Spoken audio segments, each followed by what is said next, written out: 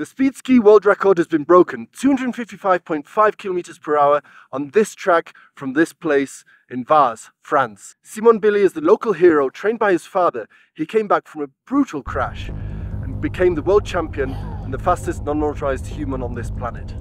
Simon Billy, what's happened? hey, I'm now the world champ and the new world record holder. So happy, happy man.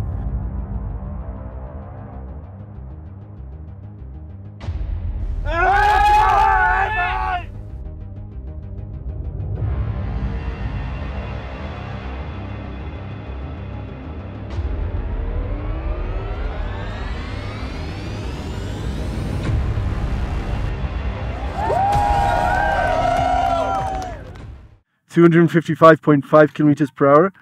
You broke the fastest non-motorized speed world record. Tell us about it. It was a dream for me to do that, and uh, I felt that it was my day. The nature gave us the perfect conditions. The track was good. The snow was good. It was perfect. I remember this uh, this run, and I'm still dreaming. How was the run? The run felt pretty easy. Really, uh, I had the perfect run. I was really cool and relaxed at the start. And uh, I knew that it was my day. I just ski uh, straight down and I felt the air on my body but everything was perfect. No bumps nothing. The snow was a, a bit soft. And really when I crossed the red line I said I was fast but I didn't know the speed.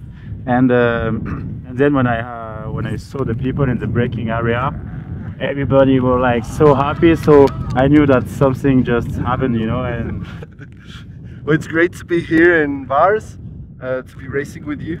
I came back to see you and to to to touch you in person.